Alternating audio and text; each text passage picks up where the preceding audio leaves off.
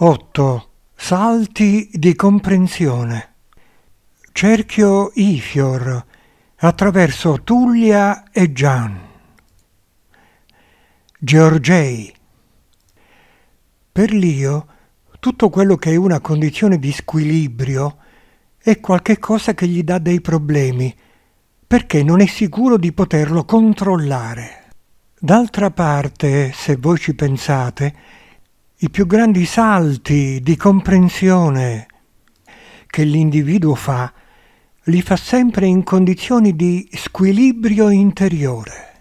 Quando uno è tranquillo, ha il suo tran tran, la sua vita normale, pacifica, tutti i giorni uguali, il suo lavoro, casa, famiglia, televisione, libri, eccetera, non ci sono mai grosse comprensioni, perché è tutto talmente statico che non c'è la possibilità di avere grossi cambiamenti.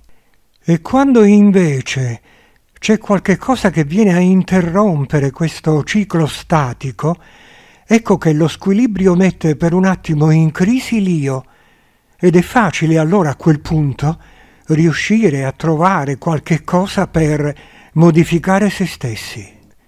È un po' il discorso della sofferenza. La sofferenza è lo squilibrio più grosso che l'individuo affronta ed è per questo motivo che è nella sofferenza che è più facile comprendere.